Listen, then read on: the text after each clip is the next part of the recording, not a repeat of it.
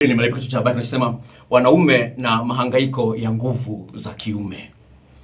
Dokta, naitwa Nelson, umri miaka 27, ni tatizo linalonikera na kuniletea aibu sana.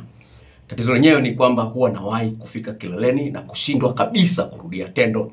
Daktari mmoja aliniambia nitumie tangawizi mara tatu kwa wiki, halafu niwe na kunywa maji mengi. Nikafanya hivyo, lakini sikufanikiwa. Mimi nikamuuliza, ulishawahi kujichua? Akasema hapana, sijawahi.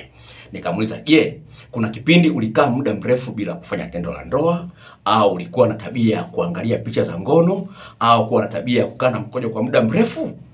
Yeye akajibu ya, kipindi cha hapo nyuma kabla ya kuanza hili tatizo nilikaa muda mrefu bila kufanya mapenzi, na uko sahihi kabisa dokta.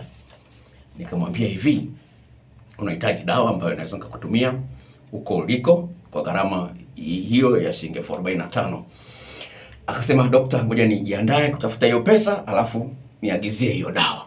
Unaweza kuona jinsi gani ilivyo huyu kaka anasema kwamba tatizo linalomsumbua ni kuwahi kumaliza. Nachozungumza jana tu, amekuja kijana mmoja usini kwangu hivyo hivyo, nilishamsaidia dawa hiyo ya nguvu za kiume na kuzoea kwa kumaliza. Alikuwa yuko Dodoma anasoma, sawa, nimsaidia hiyo dawa. Sasa kwa bahati mbaya akarudia mchezo wa kujichua, masturbation. Tatizo limerudi sasa. Jana yake amefanya mapenzi na mwanamke, dudu limekataa, lime, limewahi kumaliza, limekataa kusimama mara ya pili. Asema nimefedheka sana, kwa hiyo amekuja kuchukua dawa upya. Unaweza kuona sawa, poni ni hapa hapa maeneo ya Bwiru, Mwanza hii. Kwa hiyo unaweza kuona jinsi gani ni kwamba huyu mwanaume amejishtukia. Sasa wanaume wengi hawana tabia ya kujishtukia, wa kujishtukia. Anaona tu mwanamke kaniacha, oh, mwanamke siku hizi kaanza jeuri. Mwanamke ataanza jeuri pale ambapo anaona wewe ni mwanaume suruali kumsugui mpaka zikatoka cheche, wakati wanaume waliotangulia kuwa namsugua mpaka zitoka- cheche zina, zinatoka. Sasa wewe kamoja tu umelala, akikwambia bwana nataka tena, unamwambia ah, bwana niache mpaka asubuhi. Asubuhi unakimbilia kwenda kazini. Hizo kesi nimekutana nazo, sawa. Dada mmoja nimeongea naye, sawa. Huyu dada ameokoka, asiyesema dokta, nimeamua kufanya dhambi japokuwa nimeokoka. Mume wangu nikimwambia tatizo lake alishughulikia, hataki. Sasa nikaangalia message za WhatsApp za huku nyuma.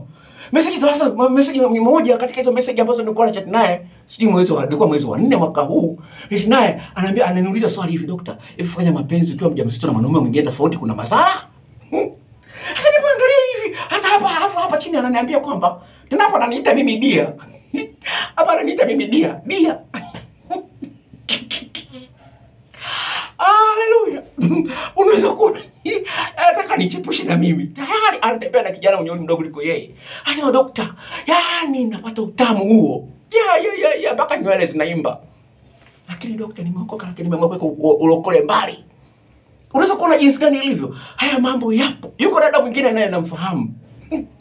no. Ni kiongozi kanisani, mlokole. Anaambia dokta, huu ni mwaka wa tatu nachepuka. Huyu ni mwanamke ambaye amenunuliwa gari ya milioni 30 Christmas ya mwaka uliopita. Ambaye dokta, huu ni mwaka wa tatu nachepuka. Anaaga mume wake anaenda gym kwenye mazoezi, kumbe anaenda kuchepushwa. Ukimwona dada mzuri tu kanisani, haleluya, tuna kiongozi kanisani.